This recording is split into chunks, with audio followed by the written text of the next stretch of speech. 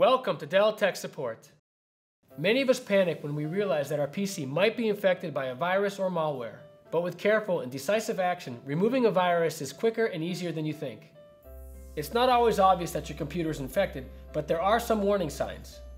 Watch our video about 5 ways to tell if you have a virus to learn more. It's very important to be protected, so if you haven't downloaded any kind of antivirus program, you really should.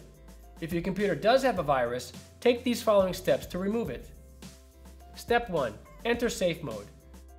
Open the Start menu, and then while holding down the Shift key, restart your system in Windows. In the Windows Recovery Environment menu, select Troubleshoot, then Advanced Options. Click on Startup Settings and restart your computer.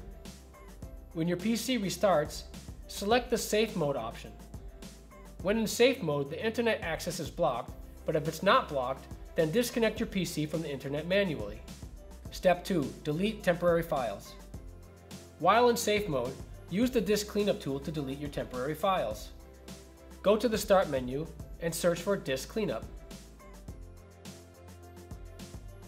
Scroll down the Files to Delete list, select Temporary Files, and then OK. Deleting these files usually speeds up the virus scan you're about to do, and might even remove a virus that was programmed to react when your computer boots up. Step 3. Download a virus scanner. There are two types of scanners.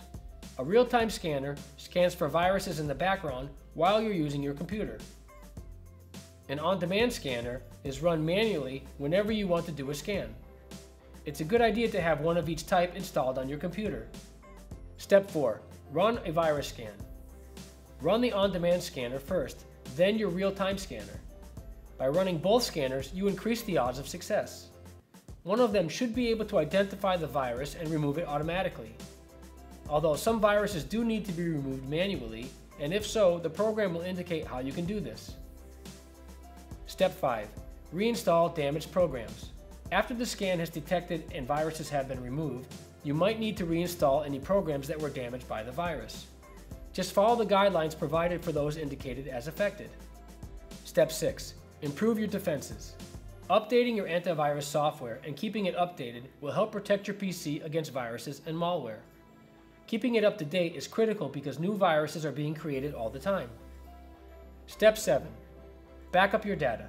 Make regular backups of your files and store them on an external hard drive. This can help prevent the loss of important information should you get another virus. Step 8. Be proactive. Take proactive measures to avoid downloading a virus.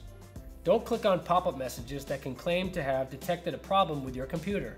Be wary of opening emails from addresses you don't recognize, especially if they contain a link or an attachment. And install the latest software updates for Windows. Whenever you need help or have questions, you can always reach out to us through social media on Facebook or Twitter, or join in a chat on the Dell Community Forum.